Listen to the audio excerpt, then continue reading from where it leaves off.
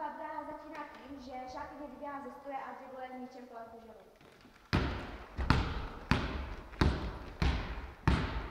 Dále se přesouváme k výcviku, kde se dělá techniku.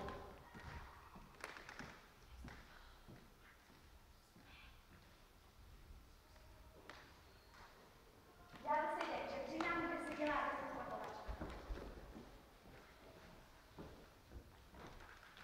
Dále tady máme skok přes překážky.